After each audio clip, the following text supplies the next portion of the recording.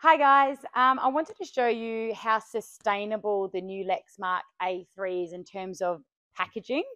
I saw my team unbox a few of the new ones that we already dispatched and I was quite floored on how sustainable in terms of there's not a lot of packaging.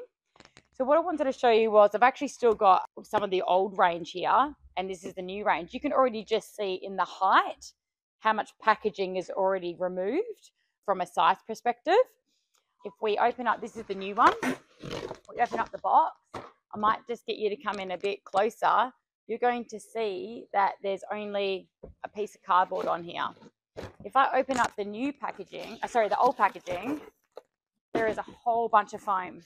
So already, this is very unsustainable and this is all recyclable. So if I remove that, and then I'm going to remove the clips on the side. That is all we've got. All recyclable cardboard to, to protect the machine and shipping. Let's just have a look at the old one. Let's remove these. That super unsustainable. Now, the reason why I wanted to make note of this, it, see how much foam there is? We can't recycle this. Really bad for the environment.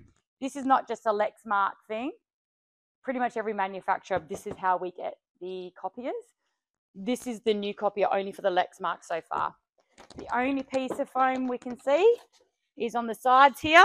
And there's one underneath here if you want to come and have a look. And one underneath here.